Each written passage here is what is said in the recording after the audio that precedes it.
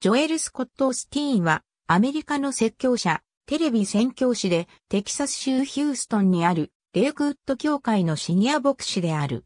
彼の説教はテレビで放映され、100カ国以上で毎月2000万人以上の視聴者に見られている。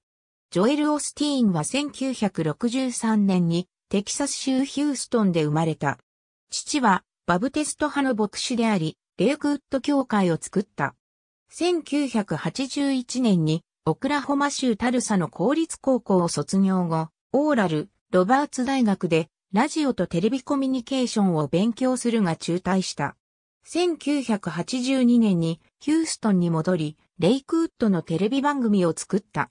その番組は1999年に父が心臓発作で亡くなるまで17年間続いた。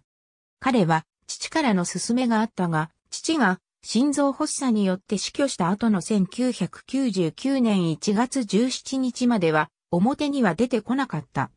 その後、オスティーンは定期的に説教を始め、1999年10月3日にレイクウッド協会の新しい上級牧師として就任した。それ以来、レイクウッド協会の出席者は5000人から4万3000人に増えている。